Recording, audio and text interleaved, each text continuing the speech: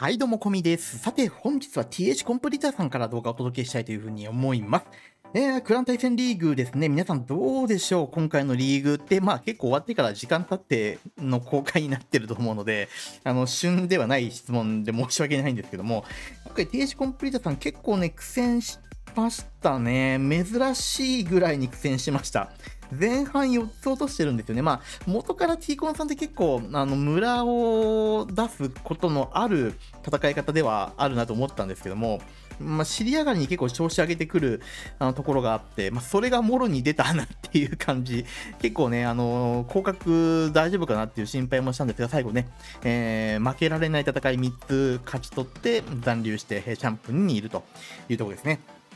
で、えーとですね、今回見ていきたいのはですね、えーと、中華式ってやつですね、ペッカスパビス。で、これ前ですね、タウンホール13かな ?12? で、えーと、一回動画撮ってるんですけども、まあ、それの時に、まあ、自分なりの大きな気づきがそこであって、まあ、それ14ではどうなのかなっていうところをね、えー、今日皆さんとご一緒に考えながら、え、動画見ていきたいというふうに思っています。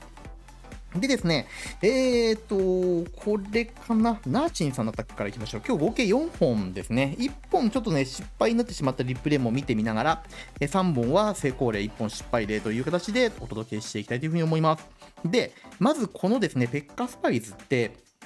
な2つ形があるんですよね。えっ、と、今や、えー、ナーチンさんがやってるように、グランドウォーデンで序盤カットして、で、えー、ペッカとスパビズが流れないようにルートを作ってから、え投入していくってパターン。今回ここから投入しますね。ガーッとこう回していくわけなんですけども、そのためのカットをグランドウォーデンでこうやってるという感じですね。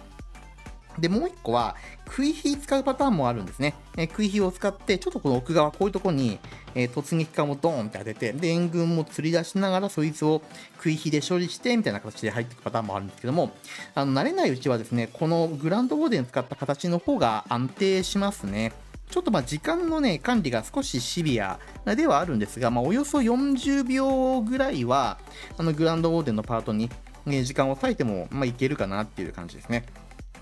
で、えーと、このアタックに関しては突撃艦を、えー、このグランドオーデンのトームに合わせていって、えー、タウンホールを落としていきます。これね、あのなかなかリスキーではあると思うんですね。この辺に、えー、なんだ、えー、トルネとかがあったらもう星1になるの確定なんで、フラン対戦リーグでこれをやるナーチンさんのね、その、あなんだろう、あの肝ったもののそば方っていうんですかね。これにはちょっとびっくりしましたけども、ただ今回決まって、決まると強いですね。あの、ど真ん中はアチャクがくり抜きながら、外周部をしっかりこのペッカスパリズがこう生き残って、えー、回ってくれてるんですね。で、えっ、ー、と、後ろにヒーラーがついてるもんなんで、全然こいつらが落ちない。もう密集したペッカスパビズにヒーラーがついた状態ほど怖いものは多分ないですね。あの、こうなったらもう間違いなく止まんないんで、タウンホールもないし、あのー、相手からすれば、えっ、ー、と、時間切れを祈るしかないっていう感じですね。これフリーズもすごくお見事で、あのー、今残っている怖い防衛ってざっくりと言って、えー、投石機とあと、えーと、シングルインフェルノなんですね。で、この時にスパビズをやっぱり生き残らせたいんですね。ペッカに関しては多少ダメージ食ってもヒーラーがいるんで回復してくれるわけですよ。なんですけど、スパビズはあの1、2発ダメージ受けちゃうと回復間に合わずにやられたりしますんで、そうならないようにスパビズをしっかり生き残らせることを考えるのであれば、呪文は範囲攻撃に当てていくべきですよね。なんで今回、シングルインフェルノ、もう一発止めることでフリーズ残していってるんですけども、もう一発は投石機にしっかり当てていくという感じですね。で、えーとね、このアタックってあのいかにスパウィズを生き残らせるかっていうのが肝になってくるんですね。こいつが生き残っていると高火力隊でもペッカが、えー、っと、なんていうのかな、やられる前に防衛壊してくれて前進するし、一気にスパウィズがいなくなっちゃうとペッカが、例えば、えー、っと、スケルトラタンカーあった場合も最悪ですよね。これに捕まっちゃって、そこで全部やられちゃうってことがあり得るので、いかにスパウィズを延命させるかっていうところに、えー、と重きのある攻め方なのかなというふうに思います。で、えーとまあ、こんな形もあるよというのをちょっと今こう1個見てもらったんですけども、うんとですね、もう1本見てほしいのはエアさんのアタックですね。うん、これ。えーと、5番の一番上かな？これかな？はい、エアさん。で、こういう村に対しても結構ね、使えるんですよね。あのー、この部分、上、上側のこの部分っていうのを、スパビズでガンガン削っていきまして、えー、今回タウンホールを倒すのは、ペッカとスパビズ、あとアチャクイの舞台になっていくんですけども、ここですよね、え壁に囲われた1個外側にこうタウンホールがあるので、これ、えーと、この壁の内側、この丸書いた内側から、アチャクイとかスパビズが射抜けるんですよね。そこの弱点をしっかり見逃さずに、まずはグランドウォーデンでアドバンテージが取れるこの投石機、こいつをしっかりと壊していきながら、えー、こう入っていきますね。ライトニングであの中心部分、グランドウォーデン像の横のあたりのカットをしてるとこもうまいですね。こういうカットって結構タンホール13とかだと、あのペッカスパビズもそうだし、あとスパネックですね。え、の編成でよくやられるカット方法ですね。グランドウォーデンプラスライトニングで奥深くまでカットして、ユニットが絶対もうそれないような形を作った上で本体を投入していくと。で、これヒーラーがね、早くペッカにスイッチしてほしいんですね。なんで、えー、なるべくグランドウォーデン早く近づいていって、ペッカの方にヒーラーを移していきたいというところですね。で、スパビズをやられないようにするために、えー、気をつけなければいけないのは、これまずイーグル砲の着弾ですが、えー、これペッカが受けてくれます。で、その先にあるのはシングルインフェなんで、これ怖くないんですよね。ほら、スパビズが生き生きしてるじゃないですか。全然ダメージ食らってませんよね。今、まあ、トーム食らってるか、トームかかってるからなおさらですけど、あの、ほぼほぼスパビズがターゲット食らってないんですよね。で、今ちょっとこれ壁の中 穴開いちゃって、あの、スパビズが2体ぐらい突っ込んできましたけども、こうこうこう、ほら、今ね、こうね、ペッカが外れちゃうと一瞬でこうやられちゃうんですよ。だけど、まあ、ここの時点でもうペッカがいなくなっちゃったんで、スパビズがまあ生き残る術はないっていう感じですね。で、最後上の方から、えっ、ー、と、これは突撃艦当たったのか、突撃艦 ED プラスロイヤルチャンピオンですね。こいつらで、えー、このなん上っていうか、なんて左側？このレーンを全部クリアしていって、えー、そのまま前回まで持っていくという感じですね。いや、これもなかなかだよなっていう気がしました。やっぱり、あのいかにスパビズをあの重要な部分まで生き残らせるかというとですね。ペッカがいるのにスパビズがいないっていう状態になっちゃうと全く伸びないんで、あのスパビズがやられるのはペッカの後っていう風にしていくことをイメージというか意識しながら、えー、呪文を使っていくっていうのがこの編成で全開取っていく上での大きな、えー、ポイントになるのかなと思います。なんだかんだ言って、ロイちゃんもね、えー、と最後シールドを使ってあの防衛壊していきましたけども、プラスインビジブルの呪文も残ってるんで、まあ、余裕がありますよね。ユニットも結構生き残ってる。多分出すタイミングを逸しちゃったんだと思うんだけど、このバルーンとか。おそらくペッカとスパビーズを出したところでバルーンも出して、一緒に、えっ、ー、と、エア、えー、なんだっけ、えー、ホーミング？黒い爆弾ですね。にヒーラーがやられないようにするために持っていったバルーンじゃないのかなと思いますけども。はい、うまいですね。こんな感じで、えっ、ー、と、やっぱりですね、相手のマルチインフェルノにすごい気をつけた方がいい。まあ、これはギガインフェルノもそうなんですけども、あの、ペッカがターゲット取れないんですよね。イーグル砲とか、あと投石機は、ペッカがターゲを取ってくれるんで、あの、よほどその範囲内にうまいこと、スパビズが入っていかない限りは、あの、ペッカのタゲ取り効果によってダメージ食らわないんですけど、あのマルチインフェルノとかになってきちゃうと、あのペッカが先を取っても残りの、えー、と4つの攻撃、まあ、タウンホール13の場合は合計6ユニットだから、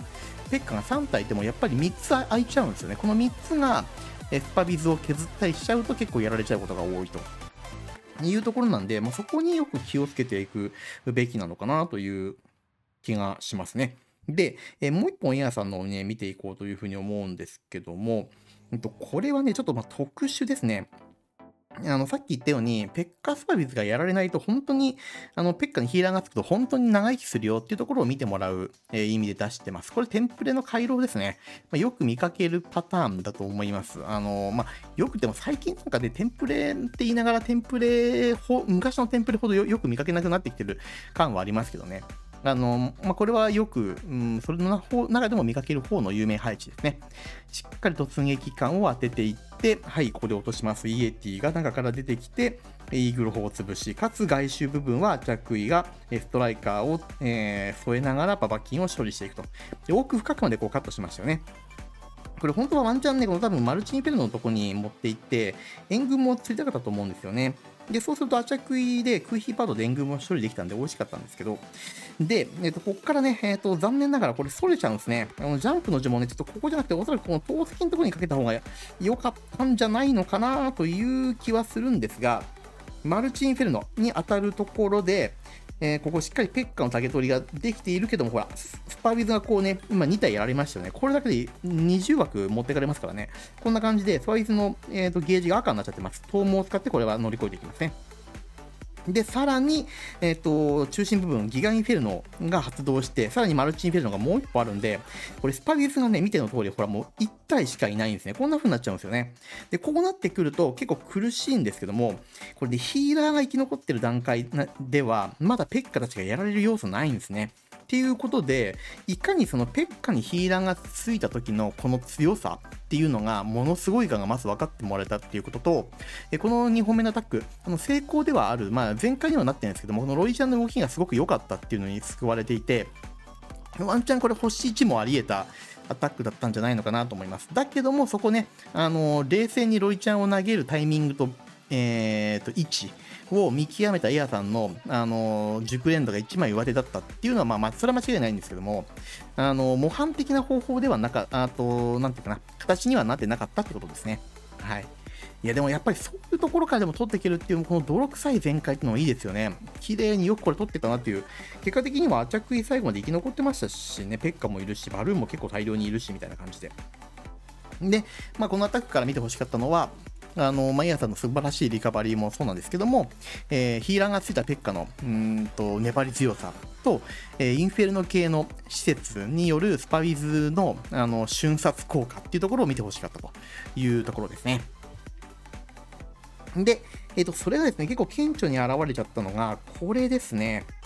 えっ、ー、と、これ、アマシンさんね、前回撮ってる動画もアタックも結構ある中で、この、多分ご本人はこれ映してほしくなかったと、うん、めちゃくちゃは思うんだけど、ちょ、ちょっとね、まあ、あの、僕も、まあ自分事として、あの、勉強もさせてもらえるアタックだったので、気をつけなきゃなという。はい。えっ、ー、と、これをね、ちょっと開けさせてもらいたいと思うんですけども、マルチインフェルノ3本あるんですね。で、この3本をどうし、えっ、ー、と、クリアしていくかっていうところで、まずは、えっ、ー、と、対空砲の範囲外からヒーラーを当てて、おでひで削っていく。ここまでは、あの、いいですね。オールが残念ながら落ちちゃいましたけども、まあ、これはある種仕方がないところありますよね。あの、オールが対空砲近くの、え施設を、うん、壊すっていうのは、まあ、どうしても、あの、無理が出てくるので、まあ、それよりもしっかりと、えっ、ー、と、アマシンさん、ここは、これ、マルチインフェルノまで狙っていったのかなと思ったんですけどね、ちょっとこれずれちゃったのかな。マルチ壊し、いや、壊しますよね。うん、壊す、壊す、壊す。マルチを壊していかないと、さっき言ったように、スパリズがやられちゃうんですよね。やられちゃうから、そうならないようにマルチをきっちりと追っていって、で、いきます。これ、レイジを使ってるのは時短ですね。あの、これだけ長くグランドボーデンのお弟子やっちゃうと、時間がかかりすぎちゃうので。で、ここですね、きっちりと、はい、アイゴレ、ペッカを出していくんですが、ロイちゃんの竹がね、これね、グランドボールでいっちゃったんですね。で、このタイミングでトーム任されちゃうんですよ。これがもう致命的ですよね。あの、序盤のこういうマルチインフェルノとか、あとギガインフェルノっていうのは、もうとにかくフリーズで固めまくって、スパビスに竹がいかないようにやっていくんです。今これまさにそうですよね。あの、もう、えっ、ー、と、やべえから、早めに、ね、フリーズを打って、えっ、ー、と、ギガインフェルノがもう起動する前からフリーズって固めてましたよね。こんな風にしてもう無効化していく。中心部分のマルチも、これも、えこれはおそらくフリーズプラスアイゴレ効果かなって固めていってます。で、必死にこうスパリズを守っていくんだけど、やっぱりもうどうしようもないんですよね。あの、トームがないんで、この火力が集中してる部分で、ペッカも、え、ヒーラー後ろからちょっとついていってるものの耐えきれずに落ちてしまう。うわ、爆弾やば。こういうところですよね。これ多分トームがあったら多分全然違ったと思うんですよ。アチャクイペッカスパビズが生き生きと中心部分から遅延を入れていって、え全体に蹂躙してくれたと思うんですけども、そうならなかったのはやっぱりあの、ここで今倒れてます、このロイちゃんですよね。こいつの、あの、グランドウォーデンのアタックっていうのが、ちょっと優秀すぎましたね。